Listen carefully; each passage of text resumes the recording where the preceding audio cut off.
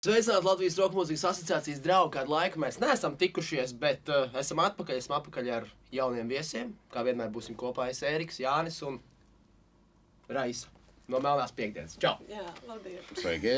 Tevi pazīst, manuprāt, visi, kas Latvijā spēlē kaut kādu vairāk vai mazāk smago mūziku, alternatīvo mūziku, metālu. Uh, nu, es nezinu, vai viņi mani pazīst, bet dažreiz uh, esmu dzirdējis no draugiem, ir tā, ka, uh, ah, Raisa, es viņu pazīstu, bet es to cilvēku nepazīstu, bet viņš pazīst mani. Es zinu viņu. Tu uzkarināji birku tagad. Nē, nepareizi sākām. Tā ir Raisa. Visiem izstāstīja, jo viņa ir ļoti daudzpusīga. Viņa ir muzikants, viņa ir koncerta organizētāja. Jā, bet mēs sākam ar to, ar ko viņus vairāk cilvēku pazīst. Tātad galvenokārt tā ir melnā piekdiena, bet, kā jau Jānis teica, dara arī daudz ko citu. Jā, es darbojos arī, daru kaut daudz ko citu. Es arī esmu žurnāliste, arī strādāju radio, arī rakstu tā kā visādas lietas, eh, kuras vajadzīgas muzikantiem, preses relīzes, arī intervijas.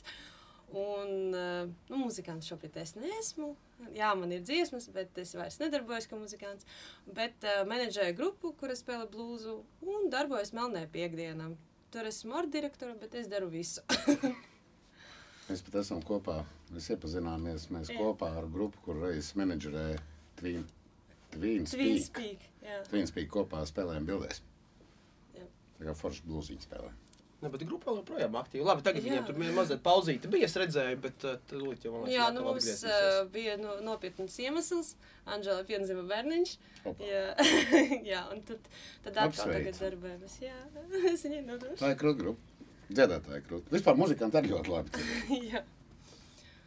Nu, tā.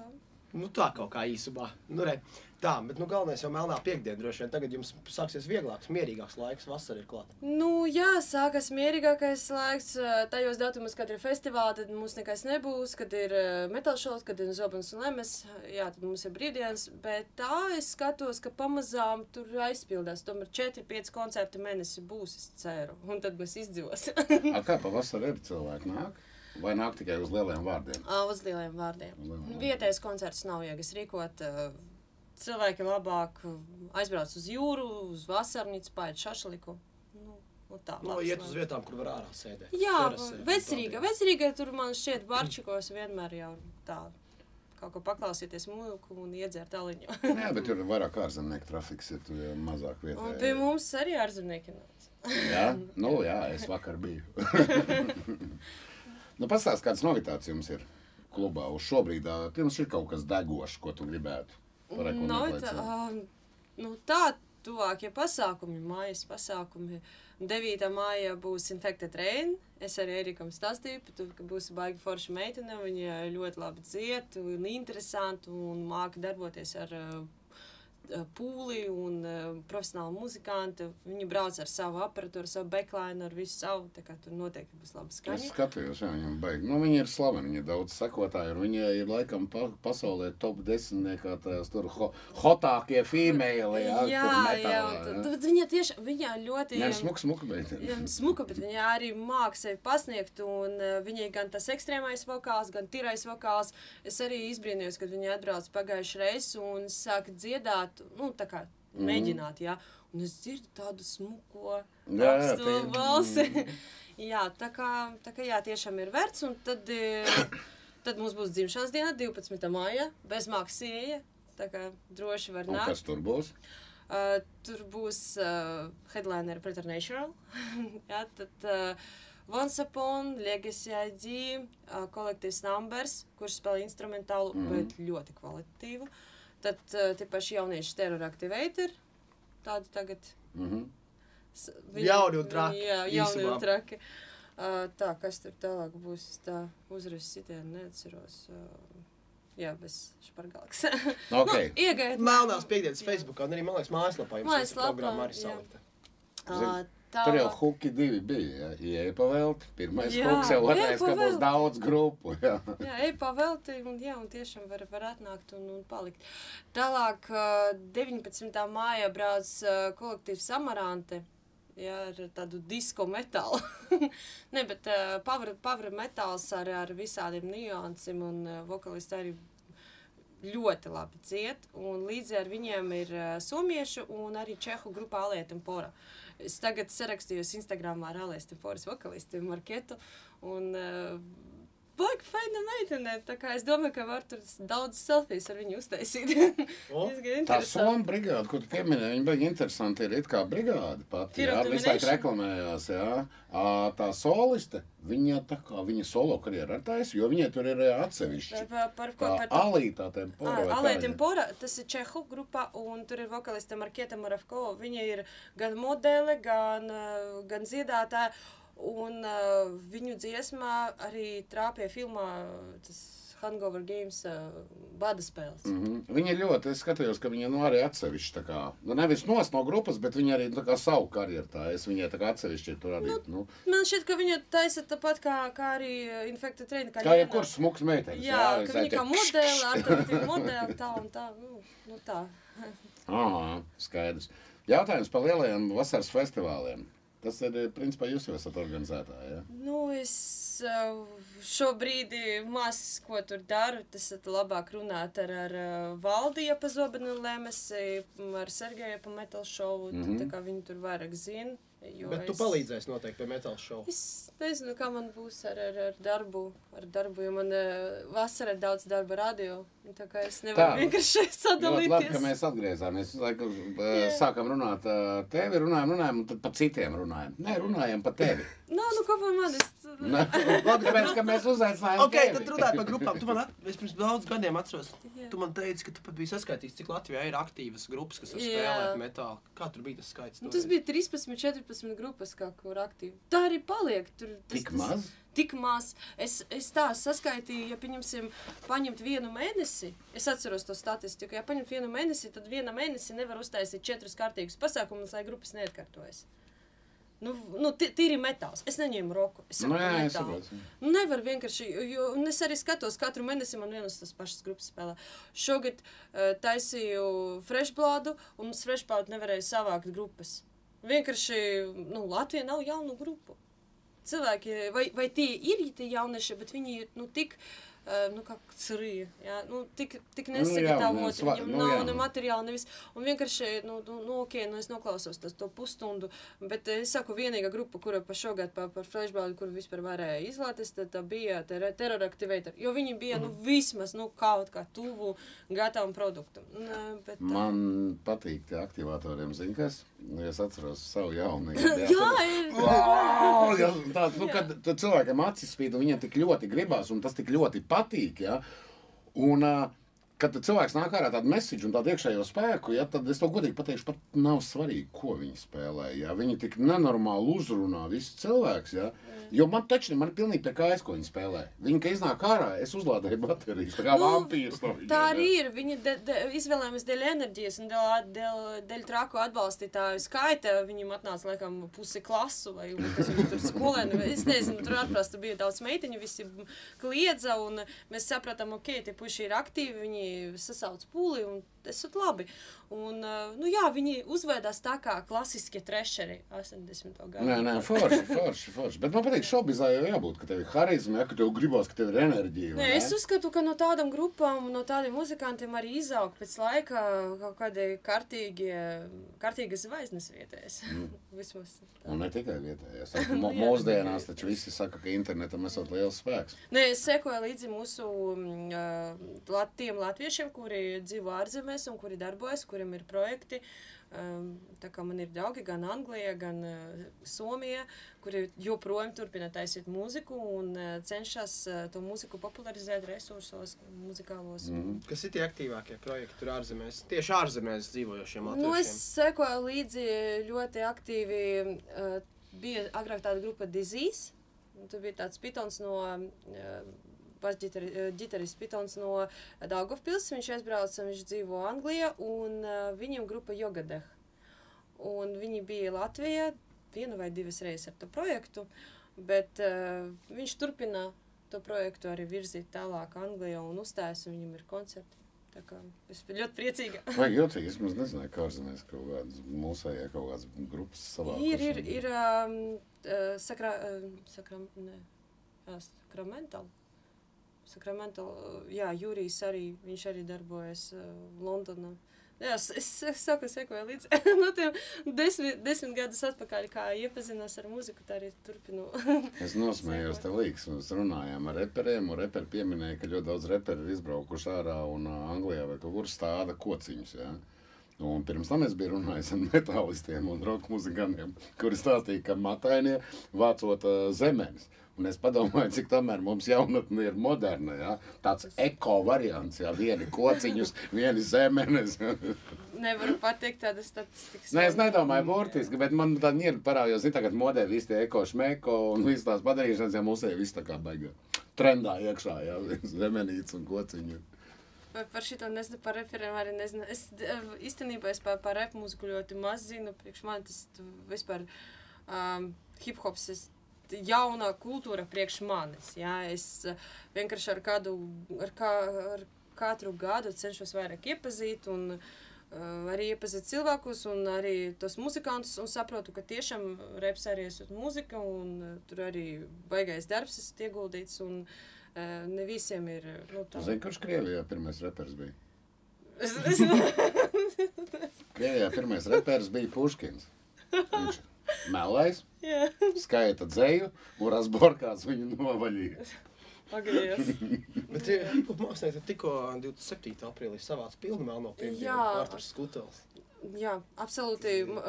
Man iepatīk, kas izrādījās, ka tur tā, tā meitene, kura dziedāja viņa. Jā. Jā, es ar viņu iepazinos uh, Summersonda pirmīt, kad viņai bija cits projekts.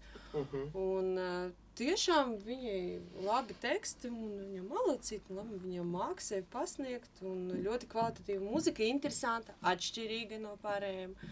Tā kā vispār bija ļoti kārtīgi cilvēki, visi nākuši pateikuši paldies, paldies jums par vakaru. Visi savākuši uh, tā kā tas glāzītes, visu zem ā, aiz sevis, bija ļoti tīrs, smūgs. Uh, man ir jautājums. Provokatīvs. Nu, ne, nevajag. Nē, nu, ne. paskaties, melnā, Nu, melnā piekdiena. Nu, zini, tā kā vispār pieņemt mums kaut visi tur trūn, tur tam līdzīgi, jā. Melnā piekdiena it kā ir uh, vieta, kas ir uztaisīta metālam, jā. Nu, Tā tā nu, metālam tam līdzīgi. Bet, principā, jūs organizējat, kas man, ko es atbalstu. Un ļoti tas ir baigi forši. Ja? Jūs organizējat ļoti eklektiski visu to. Ja? Jums ir uh, raps bijis, jums ir ļoti arī nestandarta, interesants mūzikas. Ja? Jums ir krieviski, angliski, latviski. Un, nu, principā jūs atbalstat visas kultūras, kas nav mainstreams un kas mēģina sisties ārā. Ja? Kā reaģē šitie te heiteri un visi internetu visādi kakārtāji? Visādi rēģi. Es, es, ja es saku, jau vairs nelasu, jau gads pagājis, vairs nelasu, neuztveru to, to pārāk personīgi. Es uzskatu tā, kā lai klubs varētu dzīvot, lai mēs varētu arī metālistiem atvest mm. -hmm. zvaigznes. Mums uh, ir, uh, nav jāstāv tukšiem, mums ir jādara kaut kas. Un, ja šobrīd ir tā, ka nāk pie manis organizētāji, viņi vēlas novirzīt klubu, lai uztaisītu hip hop vakaru, lūdzu.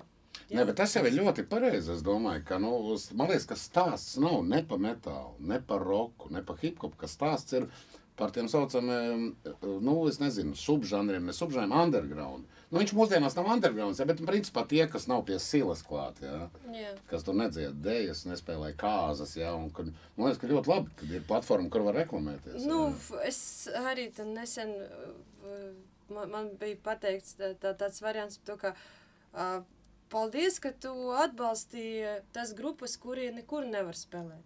Nu, ja, tas, Kuri- tas ir galvenais. Kuriem tu ļauj vispār atnākt melnē piekdienā un uzspēlēt to. Un uz profesionālas aparatūras, profesionālas skatuves ar gaismu. Um, es te padomāju, nu jā, nu. Jo mēs arī no asociācijas rokmūzikas dibinājām. Ja, tā pati doma, ka tas nav tā, ka, zini, ja tev neskan drives, tad tu visai prom mums nedari. Ja? Nē, nē, bija tā doma tāda, ka mēs tik maza valsts esam. Mums Jā. jā. nav šobiznesa vispār nekāda. A, Latvijā nav Nu, ja tu nespēlē boksu, ja, vai, vai, vai kaut kā deju muzikas klubos iet, ja, Tu, tu nav šobiznesa. Līdz ar to mums ir jāturās kopā vispār visiem. Ja? Un, ja mēs būsim draudzīgāki un vairāk kopā, ja mēs lielākas lietas varēsim izdarīt, un arī ārzemnieki redzēs, ja, ka te var braukt, tāpēc, ka tu viņi visi tādi uh, Jā. kopā. Nē, nu, un... Uh, es varu pateikt par hip hop kultūru. Tas pats jau tur, pieņemsim, kaut kādas grupas kā Limbiskiti. Jā. Nu, nu, nevar to nosaukt eh, ga- gan, gan par repu, gan par roku. Tur ir tas sajaukums, mm. ja, elementi visur ir. Un uh, tas vienam patīk, otram ne. Es jau saku, ja jums vajag metālu, nāciet tajās dienas, kad, kad mums ir metāls. Jā, pat ir hip hops, nāciet uz tiem pasākumiem, kad ir hip hops. Bet ko es tagad pamanīju? Metālisti nāk gan uz rep vakariem, gan uz metāla vakariem. Otrādāk, ne? Nu, viņi, viņi gan tur, gan tur ir. Un uh, metālisti gan ļoti labi pazīst hip hop dziesmas. Uh -huh. un, uh, Viņam tas netraucē slēmot, un tad uh, pēc nedēļas atnākt un uh, dziedāt līdzi un māt ar roku. Tā kā man šķiet, ka uh, daži, varbūt internetā, kad raksta komentārus, viņi gdita lukāviet. Nu, jā, es nezinu, kā ir latviski. Liekuļo. Liekuļo, jā, jā, ka, ka ļoti dās. Gan mēs esam māziņi, pirmkārt viens otru pazīst visi, jā. Mm. Un, un, un, un mēs jau nevaram, ja mēs nodalām par žanriem, jā, tad mums vispār viss izmirst, jā. Jo es domāju, ka tādam, nu, nekomerciālajam repam, ja uztaisītu klubu tik lielu kā Melā piekdiena, viņš jau nomirtu. Nu, tur Latvijā ir visi hip hop klubi nomiruši, kas līdz šim ir taisīti. Nu, Nē, tāpēc es to saku, mēs nevaram dalīties. Ir principā tā kā jāliekās kopā. Ir, jau, un, nu, Nē, nu tagad ir tas vilnis, uh, hip hop uh, vilnis, jā, popularitātes, jā, šobrīd viņš, jā, pēc kāda laika atkal tas vilnis aiziet prom, un tad atnāks varbūt atpakaļ roku mūzika, obligāti. Katrā, Vai des, ņumetāls. katrā desmitgadē nāk Jā, atpakaļ jā. smagais. Es, es par to nepārdzīvoju. Galvenais ir, lai ir tā vieta, kur visi var, var spēlēt un, un uzstāties un kaut kā apmainīties ar informāciju. Nu, vismaz man. Draudzēties, atbalstīt un mīlēt viens otru. Pat tās džēlas iespējas. Jā, jā, jā. Es tā arī domāju, tas arī viss pareizi. ir. Tā kā jūs darāt ļoti labu darbu. Varētu būt, ka tu kādreiz tomēr arī atgriezīsies pati mūzikā. Nezinu. Nu, man ir uh, sanāca tā, ka es ierakstīju vienu dziesmu, uh, viņa tā kā folk, folkroks, jā, uh, uz mani vārdi. Un uh, palīdzēja viņu ierakstīt uh, Ilja Kiriev no Papešā grupas. Uh, tiešām viņam paldies. Viņš visu oranžējumu uztaisīja. Un tiešām sanāca tā, kā man patīk. Uh, Bet es saprotu, lai es ierakstu veselu albumu, tad vajag lielu darbu, jo es ļoti esmu kritiska. uh, Nu, tā kā uz mm. Mhm. sevi jā, es ļoti, ļoti daudz vēlos uh, izdarīt. Un, nezinu. Bet dziesma ir pieejama kaut kur. jā. SoundCloud. Jā, jā ir pieejama. Okay, un zem, kā, zem kāda nosaukuma tas Um, jāmeklē. Tur ir tā kā rakstīts ar latviešu burtiem, nu, ar lat latiniskiem burtiem. Raisa links, nu, tā kā Lūsija. Jā. jā. Mhm. Raisa links, un dziesma saucas Samaini. Uh, Dņi bez времени. Nu, viņa Nu, krievu to jau valodā. atradīs. Jā, To jau jā. mēs atradīsim. Es esmu tā kā dzēniece, ja, no, no, no sešiem gadiem rakstu dzēju, un, un uh, daudzas manas dziesmas arī Anģela izpildīja, gan latviešu valodā, es rakstu, gan, gan arī krievu valodā. Nu, Angļu nē, Bet to vajag darīt. Tas ir ļoti, ļoti labi. Vajag cilvēkiem darīt to, kas viņiem sanāk. nē, tas ir tā kā tas ļoti senos laikos bija izdomāts, kad es agrāk dziedāju, man bija sākumā poproks, mēs ar draugu taisiem mums bija poproks, tad tas pārvērtas par hardroku, uh, un tad aizgāja rezultātu uz folkroku, kur es kā spēlēju perkusijas, un draugs spēlēja ģitāru. Nu, es arī mm, studēju operas to akadēmisku vokālu, arī studēju, mēģināju dziedāt uh, tajos laikos modernu power metālu, bet tas, tas viss, uh, nē, nē, nē. pārāk, pārāk daudz mēģinājumu, pārāk atbildīgi, un uh, es sapratu, ka es nespēju. Esi brīvmākslinieks sirdī, ja? Um, Multimākslinieks. Multimaksas. Ne, es uh, īstenībā uh, man patīk uh, klausīties citus cilvēkus. Man patīk atbalstīt, ja es redzu kaut ko progresīvu, kaut ko profesionālu, kaut ko interesantu. Ja es redzu, ka cil- cilvēkam deg sirds, ka viņš tiešām ar to dzīvo, viņš par to domā, un tad es uh, noteikti atbalstīšu, noteikti palīdzēšu, ieteikšu kaut ko. Pieņemsim, uh, kad es strādāju citā klubā, nevis Melnē piekdienā, bet bija klubs Nice Place, kur es arī strādāju par menedžeri. Un es tur iepazinos ar uh, Jāni Dreģeri no Detroit. Detroit, Jā, jā. Detroit. Ja tagad tas, tas nav, cik es saprotu, viņš... uh, Tagad grūti saprast, viņš pats diezgan daudz ko, kaut kādu Jā. video diezgan bieži viņam Es ir. viņu ieraudzīju, dzirdēju, un man viņš tā traki iepatīkās, ka es viņam ieteicu visu, ko es zināju. Lai, lai, viņam, lai viņam izdodas, lai viņš izvirzas, jo es ieraudzīju, ka viņam ir iekšās, ka viņš ir muzikants no galvas līdz kājām. Nu, nu tā, ka viņš dzīvo ar mūziku. Un, vat, un ir tādi cilvēki, viņi man kaut ko uzrunās, cenšos vienkārši. Reiz sanāk, ka tu neesi egoists. Es neesmu. Tu, tu, pats, tu, tu pašrealizējies, principā, palīdzot citiem Jā. cilvēkiem. No Oranžela tas, arī tas jau ir ok. Ar, ar tvīstu. muzikanti visi, sevišķi dziedātāji, viņi visi ir egoisti, viņi tikai nav. mī, mī, mī, zin kā. Ar, ar, ar muzikantiem tā, ka ar viņiem ir jārunā, jāslavē, jānomierina, vi, viņu jāatbalsta. Viņi visu laiku nu, tā kā refleksija viņam notiek. Tur Es pašas ne- refleksija. viņi Es uzskatu, ka ar muzikantiem vajag zaudēt disciplīnu. Nu, to arī vajag, bet ja tikai disciplīna bez atbalsta, tad arī nekas. Zini, kā muzikantam ir kā mazam bērnam. Ja tu viņam ļauj, tad viņam viss vēl viņš nevar paspēt, tad viņš aizmirst, tad viņš negrib. Un tad Nē, viņam nē. nav noskaņojuma un tam līdzīgi. Ja? Tāpēc, ka viņš zina, ka kāds viņam skaidīs pakaļ. Tā kā tā nav viss, un kad ir disciplīna, muzikants izrādās ļoti normāls cilvēks, kurš laikā nāk uz mēģinājumiem un visu dara. Ja? Nu, tas, tas ne visiem, bet uh, es uzskatu, ka pēc kāda laika, ja pieņemsim, tev ir savs muzikālais projekts, un tad tu redzi, ka tu, tev, pieņemsim, ir ģitāris, kurš uh, patstāvīgi kāvē, vai esat ir iedzeris, vai nu, viņš kaut, kaut kā, nu, nu velk to grupu atpakaļ, jā. Tad uh, viņam jāpasaka, kā viss čau. Nu, nav ar to cilvēku. Jo tev ir plāni, tev ir uh, tā, tā skāpnes, jā, pa kuram tu ej uz augšu. Nu, viņš tev velk uz leju. Tad viss čau, un tad, tad tu dari visu savu. Bet Es- viņš izcili spēlē. Es subjektīvi, es subjektīvi uzskatu, ka vajag kaut kā mēģināt viņu ielikt rāmjos un vēl viņš funkcionē. Jo man šausmīgi bail no rotācijām, un to pierāda arī mūsdienās grupas. Ja? Zini, tas kā vilciņu ir. Vilciņš stāv mierīgi, tas spēļu, ja? viņš nekustās, viss kārtībā. Tu viņu kā ierotē, tā viņš vairs nav kontrolējams. Un tas pats notiek ar grupām. Tiklīdz tu pirmajam pasaki uz redzēšanos, tā sākās rotācija. Nē, uh, galvenais, lai tos muzikantus, kur ar tevi spēlē, savieno kopīga ideja. Un visi redz to galamērķi, un tad viņi visi ies uz to. Slava un stadioni. Nu, nē, slava, Ot, man šķiet, ka slava un stadioni nevarētu būt pamērķi. Nu, tas, tas nav. Tas Kam, kam vajadzētu būt kā mērķim, tad, ja ne slavai un stadioniem? Atstāt par sevi kaut ko vēsturi. Nu, tas ir slava un stadioni. Nu, bet tas nav. sla- Nu, kas, Nu, nepopulārs Nē, cilvēks nu, neatcerās O, vēsturi. Nē, pēc nu, nu, ok, nu vienkārši grupa izdomā, uzspēlē, izdomāja vienu dziesmu, palika populāra, ja savāca stadionu. Cik tādu grupu 90. gados es tagad vienkārši pat nenosaukšu, jā, neatceros kaut kur bija, kuri vāca stadionus, bet tagad um, mēs vienkārši vecus ierakstus, oj, ah, tik tiešām tāda grupa bija, kur One bija. hit wonder. Jā, tā kā nu, vajag vienkārši atstāt kaut ko tādu, lai to cilvēki klausos pēc 10 gadiem, 20, 30, 50, lai tas ie- ietu vēsture. Pieņemsim, e- es, kad darbojos, es nekad nedomāju par to, ka, o, es tūlīt nopelnīšu daudz naudas. Nē, nekad. Es domāju par to, es vēlos kaut ko izdarīt tādu, lai pēc 10, 20 gadiem par mani pateiktu, vot, tiešām nu, bija tāda meitene, viņai izdarīja to Bet redziet, tur runā par ļoti intele- nu, tādu izglītotiem, inteliģentiem un apgarotiem, ja tādiem āklas māksliniekiem, ja tā kā Pink Floyd, zin, baigi atstāja un baigās pēc, ja, bet visi jau tādi nevar būt.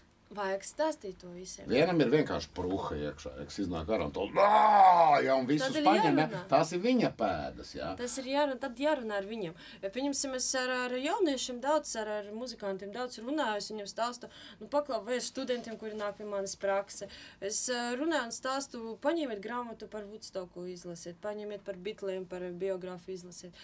Jo tas, nu, tā kā attīsta, attīsta garīgi. Bez garīgas attīstības ne, nevar būt labas mūzikas. Jā, bet arī tu ieteiksi, nu, pat tās grāmatas, kur pirmo grāmatu, ko tu nosauc, tas man liekas īsā narkotika rokas grāmata, Nav. un, un otrā Nav. grāmata arī pa bītliem. Ko viņi darīja pirmos gadus Hamburgā? Daudz strādāja. Nu, 8 stundas vismaz dienā. Jā. Spēlēja, spēlēja, spēlēja no rīta līdz vakaram.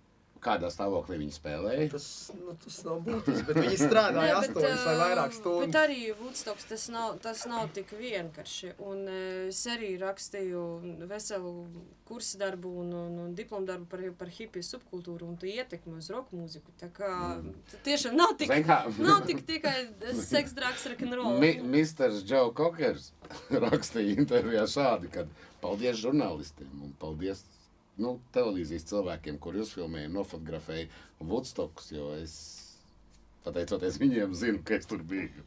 Nu, tā, diemžēl bija tā, tā realitāte. Tur uh, bija iespēja to visu izmēģināt. Sex, un varbūt, un varbūt arī eh, dēļ tās arī daudz, daudz mūzikas arī parādījās tādas, kuras varbūt arī Protams, nebija. Jā. protams. Uh, bet uh, tie, pieņemsim, tie muzikanti, kuri sākumā domā, o, oh, cik forši esat roka mūzika, tur, tur viss, tur meitenes, tur, tur braukšana, tur viss dzērieni. Un tad viņam, kad iesākas kaut, kāds, nu, kaut kāda braukšana pa valstim, ja, un ir jādarbojas, mm -hmm. un viņi sāk saprot, ka katrs koncerts, liels vai maziņš, tas esot riktīgs darbs, un ka tu nevari vienkārši būt uh, bezsamaņa. Mm -hmm. Jā, jo, nu, nu, tas būs redzams, tas būs saprotams. Un tas ir darbs, un nav nekāds tur seksdrāgs, rokenrola un izklaides pasākums. Ziniet, kā gudri cilvēki saka tā, ka motivācija vienalga kāda viņi ir. Pilnīgi vienalga kāda ir. Galvenais, lai viņi ir. Nu, jā. vienam darbs, vienam meitene, vienam atstāt pēdas, trešajam slavu stadionam, tad galvenais, lai ir motivācija. Bija laba filma Rockstar. Tā, tur, tur tiešām tas parādīts, kā, ka viņš iegāja tajā pasaulē, viss ir superīgi, un tad viņš apiedzas viena vakara, ka viņš neatceras, kura viņš pilsētā atrodas. Mm. Un, un tad viņš aizgāja prom dēļ tā, ka tomēr, tomēr tas, esot, tas, tas esot darbs, un viņš neatrada to, to, kas viņam bija. Viņam tiešām, viņš gribēja rakstīt savas dziesmas, mm. izpildīt no, no sirds. Viņu aizrāva. cita dzīve. Aizrāva cita dzīve. Jā. Okay, tad mēs tā teiksim šoreiz lielu paldies. Tiksimies, es domāju, rudenī, kad būs jaunā melnās piekdienas sezona, kad būs pavasarī daudz ko jaunu saplānojis. Nu, nu, pavasaru tur gan kanibāli, gan, gan arī folk metalisti brauc, tā kā lasiet melna piekdiena. Sekosim līdzi jums, un, nu, bet rudenī tāpat mēs tiksimies, ka tu būsi sastrādājis jaunās Jā. sezonas plānus līdz decembrim. Notiek. Paldies! Liels paldies! Jā, paldies! Čau visiem!